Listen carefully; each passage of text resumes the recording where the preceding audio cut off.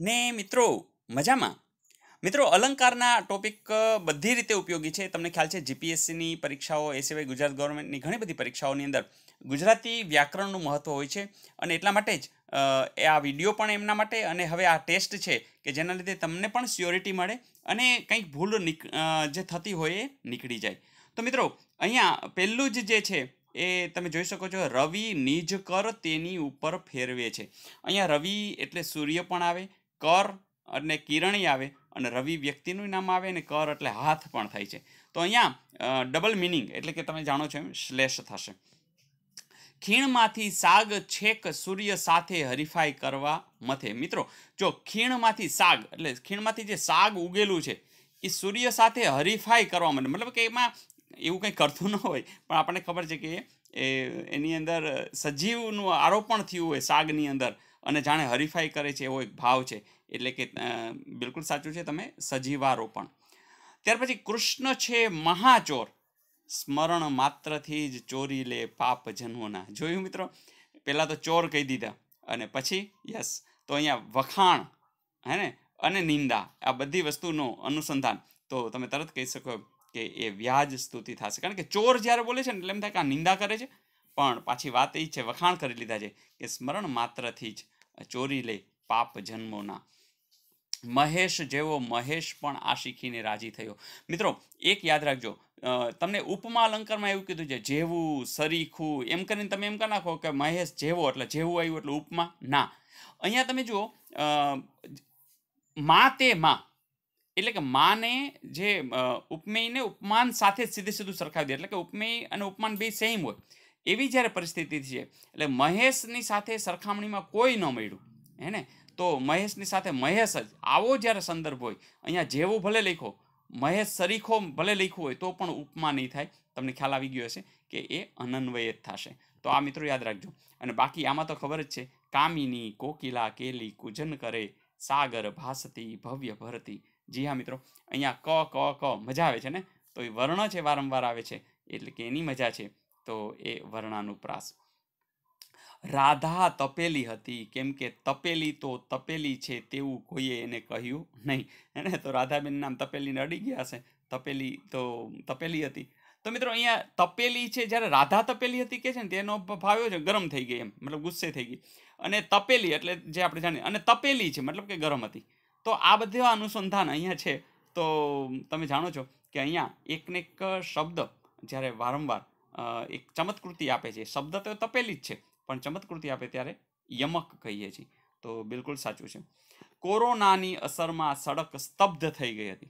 મિત્રો, સડક છે એનું સ્તબ્ધ થવું. જ્યાં મિત્રો, નિર્જીવ વસ્તુમાં સજીવનો આરોપણ છે. તો જવાબ છે સજીવ આરોપણ. જાદવ સ્ત્રી તાળી દે હશે, ધન્ય નગર આવો નર. વસે કીધા હશે વ્રત તપ અપાર. તે સ્ત્રી પામી હશે આ ભરતા મિત્રો અહીંયા જ્યારે સ્ત્રી તાળી દઈ હશે જે, એની અંદર શું છે? એ નિંદાનો ભાવ છે. પણ વાત પાછી અનુસંધાન ક્યાં છે? તો કે સ્ત્રી પામી હશે આ ભરથાર કે જેને વ્રત તપ અપાર કર્યા છે. બિલકુલ સાચું છે. વ્યાજ સ્તુતિ. અને છે મતવાલી, નથી નમાલી, નવા લોહીની લાલી. હે ને મિત્રો? તો અહીંયા તમે બિલકુલ પામી ગયા છો કે શબ્દનું અનુસંધાન છે અને શબ્દાનુપ્રાસ છે. તો એ બિલકુલ સાચું છે.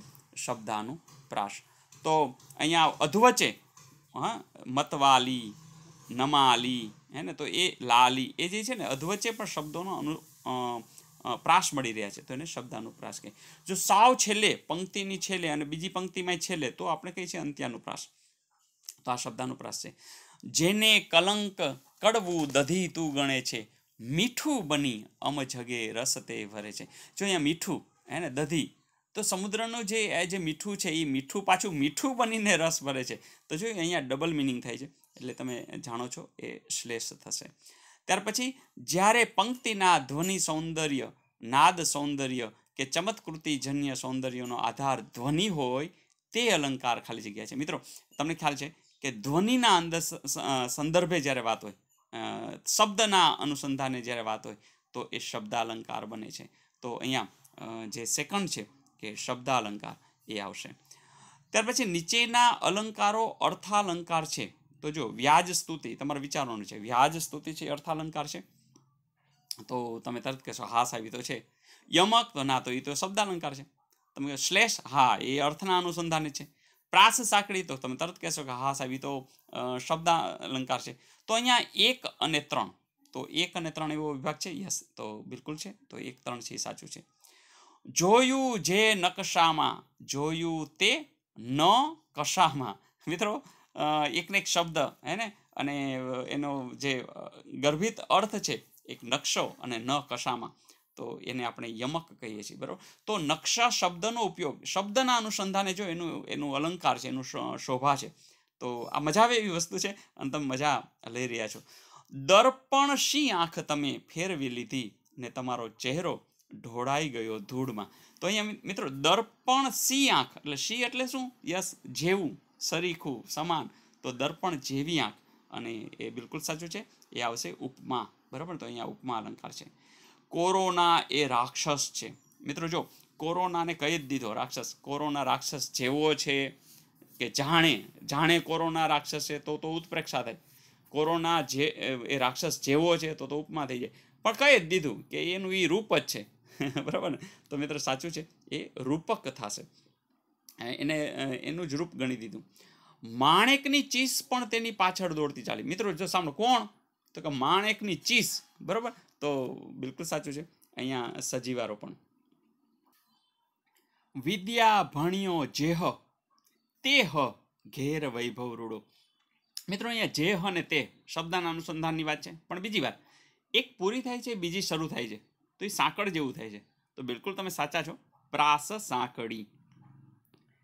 હિમાલય આજે ધીર ગંભીર છે.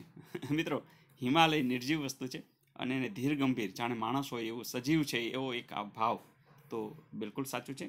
સજીવા રોપણ અને ઉપમા અલંકાર કયો છે? તો એ બોર્ડની અંદર ધોરણ દસની અંદર પૂછાયેલું. તો દમયંતીનું મુખ ચંદ્ર શોભે છે, દમયંતીનું મુખ જાણે શશી, દમયંતીનું મુખ તે દમયંતીનું મુખ અને દમયંતીનું મુખ શશી સમ શોભે છે. તો મિત્રો, ઉપમામાં તમને ખબર જ પડી જાય કારણ આ બોર્ડની અંદર દસમા ધોરણના બોર્ડની અંદર આ પૂછાયેલું, કારણ કે આ ટોપિક નવમામાં પણ આવે છે, દસમામાં પણ આવે છે.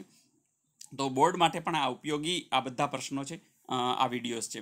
તો દમયંતીનું મુખ શશીશમ શોભે છે. અને છેલ્લો પ્રશ્ન ગાંધીજી હિંસા અને અસત્યના કટ્ટા વેરી હતા. તો મિત્રો, અહીંયા પણ તમે જુઓ છો કે વાત જે થઈ રહી છે, એની અંદર જે અનુસંધાન છે, એ પકડો. એટલે તરત તમે કહેજો કે, સર, આમાં નિંદા વખાણની વાતો છે. તો એ આવશે વ્યાજ સ્થિતિ તો મિત્રો, મજા આવી?